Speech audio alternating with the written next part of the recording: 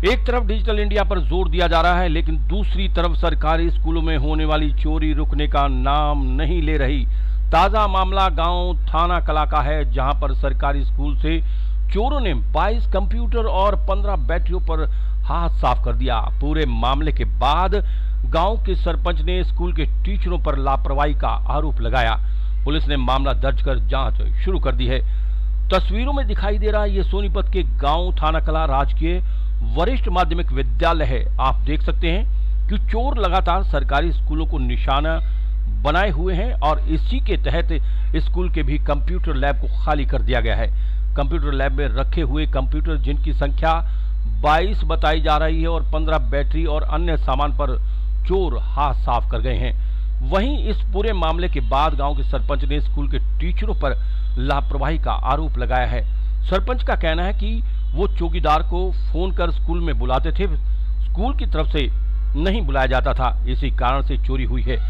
अध्यापकों का कहना है कि स्कूल से 22 कंप्यूटर और 15 बैटरियाँ चोरी हुई हैं, जिससे स्कूल का काम रुक गया है। इससे बच्चों का भी बहुत नुकसान होगा।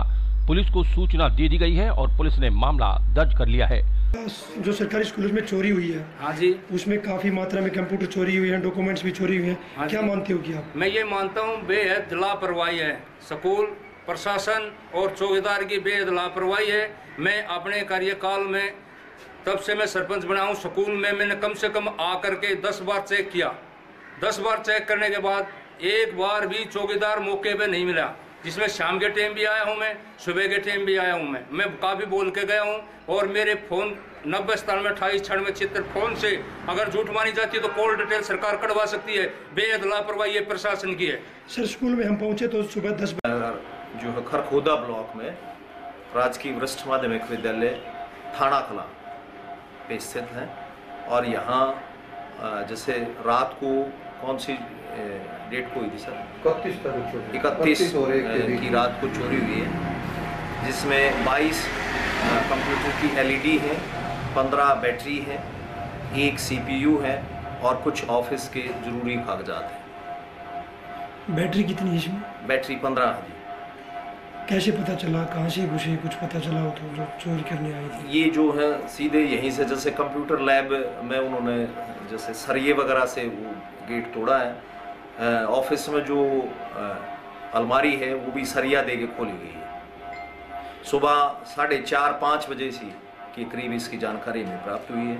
तभी जो है, इसकी सूचना पुलिस डिपार्टमेंट को दे देगी आठ बजे पुलिस विभाग के कर्मचारी जो आकर के, वो सारा डाटा उन्होंने कलेक्ट किया है और हमने इसकी एफआईआर लॉज करवा दी है।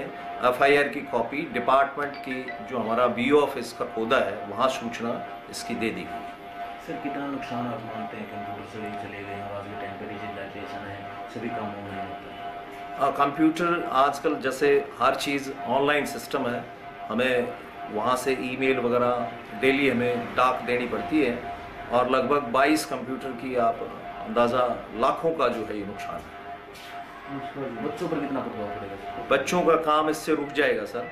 क्योंकि बच्चे कंप्यूटर टीचर जो ट्रेनिंग देते हैं वहाँ उनको पढ़ाई करवाते हैं सिक्स टू ट्वेल्थ के भी और छोटे प्राइमरी बच्चों को दूसरे उसमें देते हैं डी टी एच वगैरह में। वहाँ हालाँकि नुकसान नहीं हुआ लेकिन ये बच्चों का काफ़ी नुकसान। सर स्कूल में चौकीदार क्यों नहीं रखते? चौकीदार की ट्रांसफ़र हो चुकी है लेकिन फिर भी हमने उसको एक समायोजित कर रखा है। हमारे पास एक मिड डे मील वर्कर है उसको हैंड ओवर कर रखा है वो चार वो संभालता है। लेकिन दुर्भाग्यवश जो है ये कार्रवाई जो नुकसान हुआ है।